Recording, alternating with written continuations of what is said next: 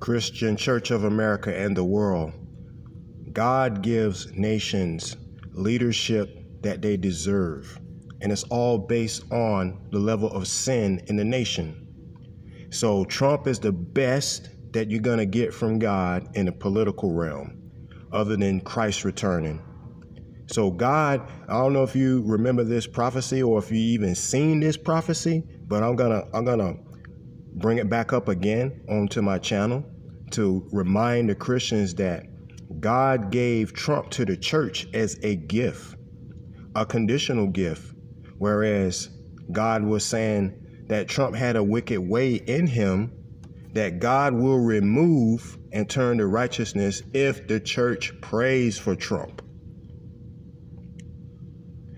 Trump is not a perfect man. He has a past, yeah, whatever. Just like all of you and me, we all got past. So we need to stop judging and start praying. Because if we don't pray for Trump, that God guides him and that God uses him, Satan's going to guide him and Satan's going to use him against the church. And then there'll be tribulation like you never seen, like you you never believed. So God is holding the church accountable and responsible for praying for church, for praying for Trump, I mean. So we need to be praying for Trump 24 7 that God changes his heart all the way to righteousness and that he will listen to righteous people only.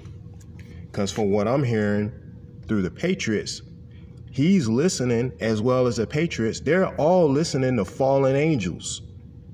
Because fallen angels can shapeshift and they can appear as dead saints or they can appear as uh, people from other planets, and we all know that's fake. And they're here saying, oh, yeah, we're here to help you against Satan's forces. And they're all on Satan's forces, they're all control opposition. And they're all part of the strong delusion of Second Thessalonians. You need to check that out, where people on the earth, if they kill you, they will think they did God a service. So that means they fell for some type of deception. And the deception is coming from the fallen angels. And the big thing that they're doing is the whole disclosure thing. You know, all these alien races and all this garbage. All this junk has already been prophesied what happened in the Bible. They're going to bring out all these half animal, half human hybrids that they've been making in underground bases and it's going to say that they're from other planets. You know, the book of Enoch said the planets are are stars. They're living beings. They're not somewhere you can go and live. You got a firmament up there, and and that's keeping us in. So ain't no rockets going into the second heaven.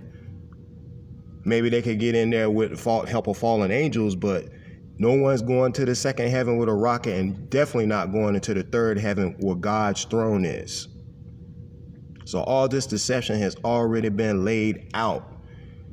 You know, Trump is the best you're going to get from God in the po- political realm. You know, uh, we're not supposed to put all our trust in man. Of course, we're putting our trust in Jesus, but Jesus gave us somebody that will work with us here, and we were supposed to pray for him, not sit there and judge him or dig up his past and all this stuff. This is hypocrisy. We need to be praying for him that God will change him. You know, I mean, come on, that as close as you're gonna get, close as gonna get. I went against abortion and things like that. What president we ever had did this? I know he went against the human trafficking and all this stuff. I mean, whatever president did that, he did a lot that a lot of presidents didn't do, and not perfect.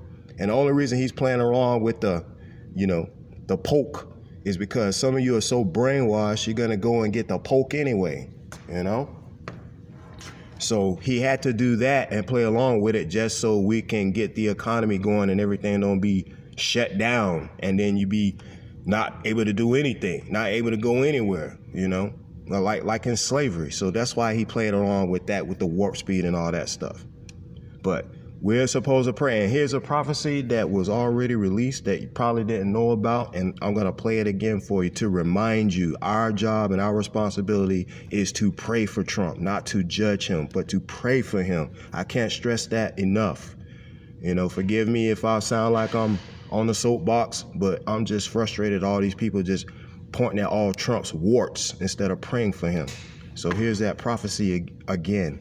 I'll play it for you. Uh, the Lord has given this man as a gift, as as a seed form, and if the church does not pray, the crooked way that's inside of him, the tendency, the potential for him to falter and to fall back on things that he promised that he would do we're in great danger of this. So I want I want to put that out there. So that the full statement